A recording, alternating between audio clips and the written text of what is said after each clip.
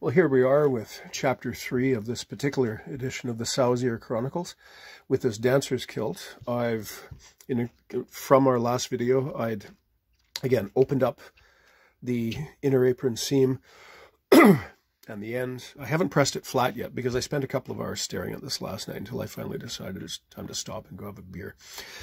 Um, but I've pinned up the last pleat so it's correctly oriented with the, the set underneath.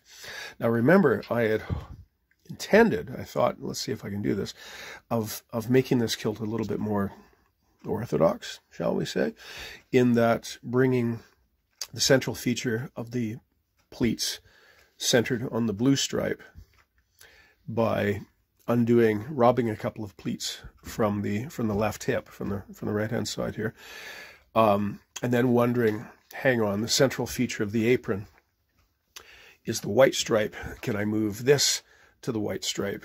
Couldn't do that, but then it occurred to me, duh, that I with this extra cloth, I can just make the blue stripe the new central feature of the front apron. All good to go, sounds right. So I undid the two seams. I haven't pressed them flat, as I said. Yeah, did a trial sort of pin up to see if I would have enough cloth, and I do, because with this and um, measuring the kilt, and remember when we're measuring for the female figure, we're not measuring at the buckle and strap line as we do for the male. We measure at the top because of the difference in their pelvic structure.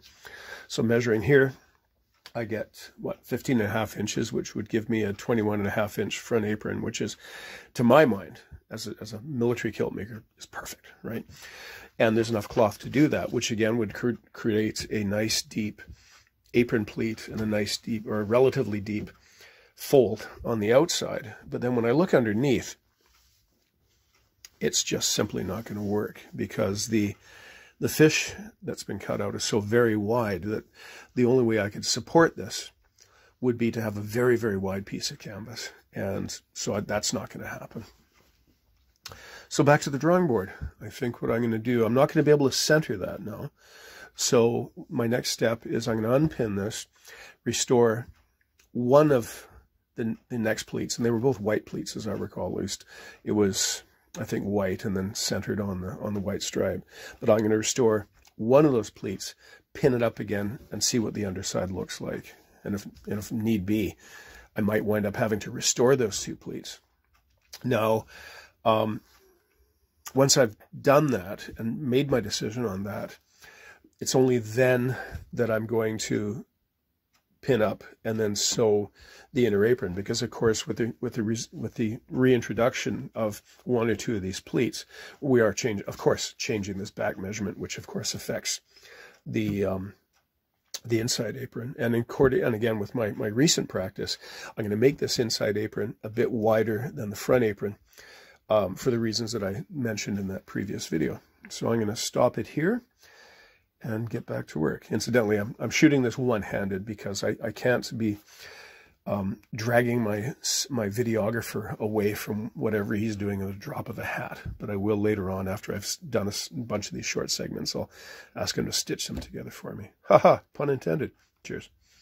So here we are, a little while later. Um, I've pinned up one of the two pleats that I'd robbed out from the from the left hip, and then um, temporarily measured from that same center, uh, the blue line, measured the new apron width because um, from the 37 waist, I've now got 16 and a half inches here. So 20 and a half inches here. So when I lay that out based on the center line, the right hand edge comes to about where this crease is, and I've got my optimum width for the fold, a hand's breadth, which is which is great.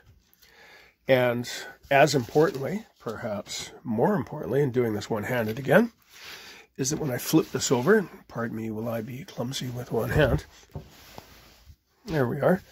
As I flip this over, and you can see I've, I've pinned it flat, that we have an acceptable apron pleat here. right? It's it's a little less than a, a quarter, but it's frankly it's the best we're going to get. But it's better than it was. And as you can see, I've pinned everything flat here. Now we have the fish that's been cut out, but now, more importantly, the canvas can go under this piece and also this piece pinned here, and it can go right up, almost up to the to the buttonhole.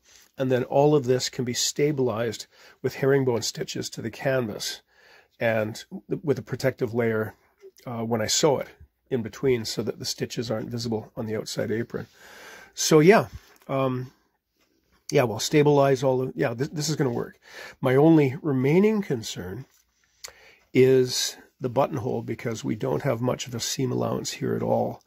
Um, I not sure what I'm going to do yet. It might well be that that piece won't be a contrasting color.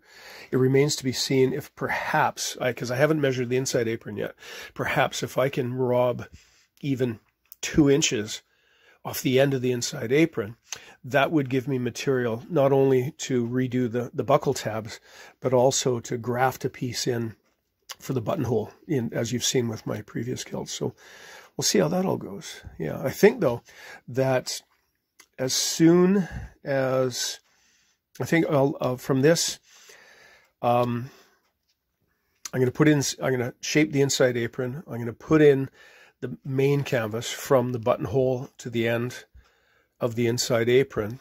And then I think perhaps I may not even baste in, temporarily based in the front canvas. I think at that point I'll call the client by for a trial fitting because again, the vast majority of my work is done for male clients. And of course, the, the female figure is just different enough to make it interesting at a number of levels. um, but in any case, yeah, uh, before, because originally I'd intended to shorten this kilt, you know, take a couple of inches off the top, reduce the height. But I want to make sure that's actually still the best plan. So I'm going to have her come in, we'll trial fit it, and I'll ask what she thinks about the height of the kilt relative to the torso as far as comfort and, and appearance and everything else. So there we go. Um, not sure when I'll turn, turn it, tune in next. But if there's anything relevant to report, on, and again, of course, at the end of it, I'll do a summary of work. There we go. Back to work, MacDonald. Here's one more quick thing. I've just um, laid out and pinned up the inside apron.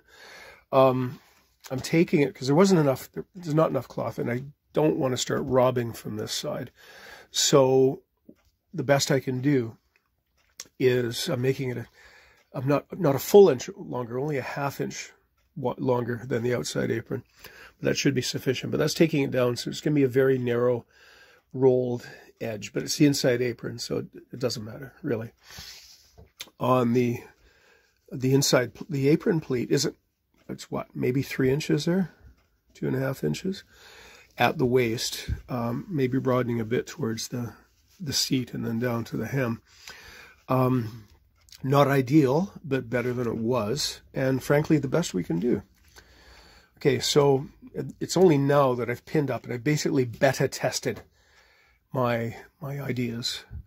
So it's now that I'll I'll take this over to the pressing table and I'll iron out all of the previous creases in the aprons and frankly, I'll have to set it aside while it dries. This this light cloth might well dry faster than the heavier cloth, but having pressed it, I'm going to set it aside until it dries, and then I'll carry on from there. So I'll uh, I'll report in later.